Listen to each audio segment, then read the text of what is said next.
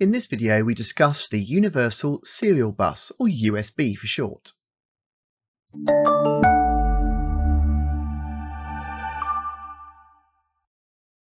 USB is a form of transmitting data, as the name would suggest, in a serial manner. It's become the most common type of input and output found on most home computers, and this has led to standard method being developed for transferring data between devices. USB allows for both half duplex and full duplex data transmission. If we take a look inside a USB cable, we'll actually find four separate shielded cables. We have a black and a red cable, um, they're related to dealing with the power. And then we have a green and a white cable, which allow us to send data in two separate directions. There are many benefits of the Universal Serial Bus. It's become an industry standard, so it's now very well supported, and devices connected via USB can be automatically detected and the appropriate device drivers can be loaded up if present. There's also no need for a separate power source for most USB connected devices as it supplies its own power, and it's already designed to be backwardly compatible with older versions of the technology. Adding extra USB ports to an existing device is easy with a USB hub. And the USB protocol itself is capable of notifying the transmitter to retransmit any data if it detects errors.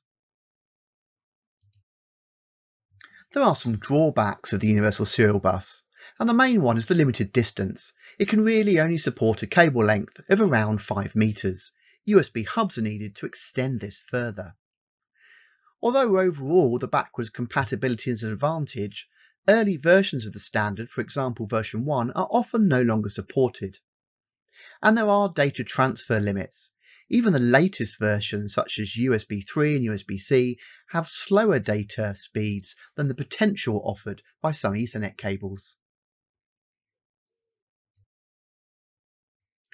Here's a summary of everything we've discussed so far.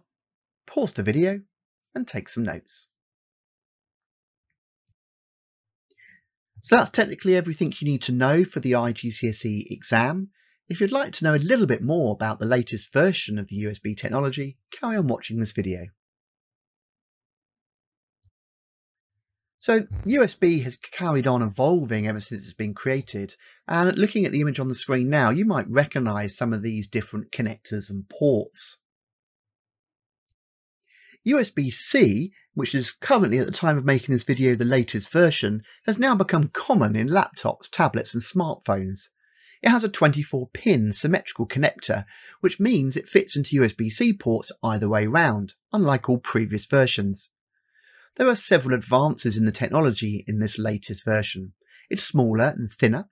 It offers 100 watts or 20 volts of power, so now we can charge full-size devices and it supports up to 10 gigabits per second of data transfer, which means it can handle 4K HD video streaming.